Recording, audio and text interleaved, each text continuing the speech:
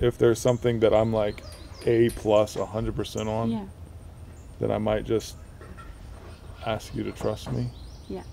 If I'm not that way about it, then I'll just we'll just pull it. 'Cause- Sounds good to me. Is that okay? Yeah. But I won't ask you to trust me unless it's Yeah. I believe know, I in it know. 100%. I know. Great. Thank you. Back to me. No, I'm joking. All right.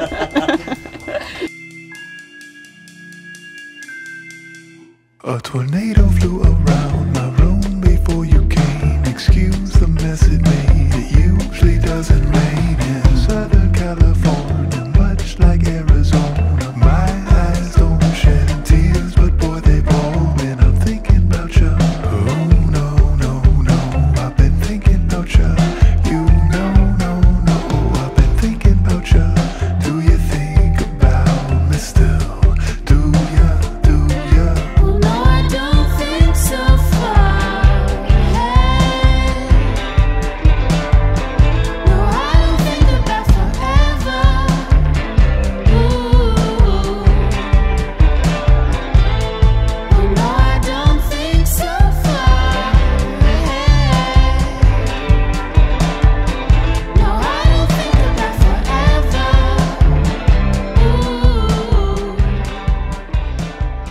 Matt and I met through doing a Lee Hazlewood tribute together in London last October. Um, we'd been emailing back and forth, and he had read about me through a, I think it was a Guardian on the Guardian website. They had a write up on my second record, and they had a write up on her first record. And they, I was just reading the rest of the article, and they read about her, and they said all the right words. So we started speaking on email, asking each other what we were up to musically, and you know, finding a bit more about each other. Over the course of a long time, and then started to talk about wanting to do some stuff together. I'd ask her to sing on a duet, an, another song that she declined to sing on. he was like, "Oh, how about you know we actually do a full duet record in the kind of Sonny and Cher, Nancy Lee, Serge Gainsbourg, Jane Birkin kind of style."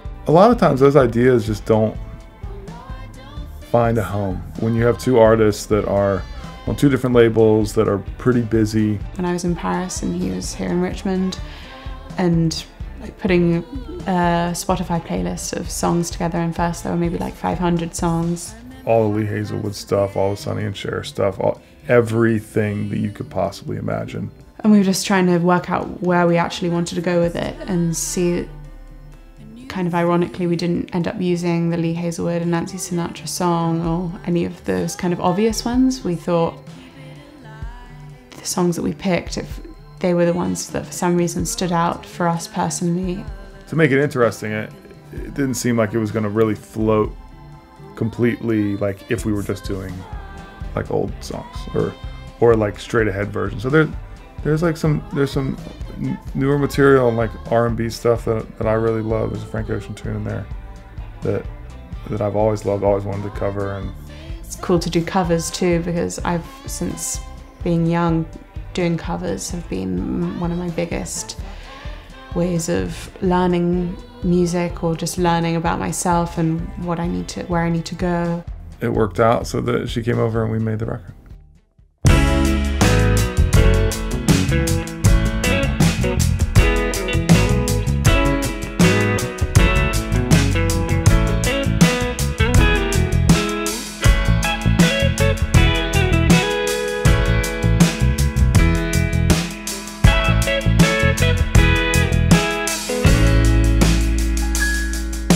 I hear it like a pounce upon a pico. Look at what the light did now. I bear it like a bounce upon a pico. Look at what the light did now. Slow. Land and water and bird or beast, oh, look at what the light did now. Shiny little band or golden fleece, oh, look at what the light did now. Look at what the light